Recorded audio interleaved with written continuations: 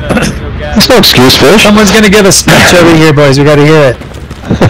Come on, there's a war speech going on. Might be a little bit of propaganda. I'm ready to listen, Check it out. Greasy. Okay. over here. Worship guys, where uh, where am I supposed to get sent point? Right here. Gonna Mo, you gotta come over here. The guy's giving a speech. I take that as a compliment, fish.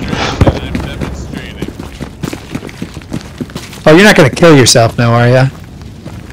Don't be killing yourself, Greasy. It's not worth it.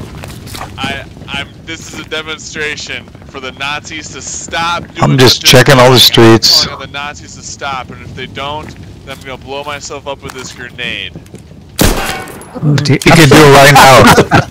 did you? Did you just shoot him? Who did that? That was great. Sorry. That was fucked up.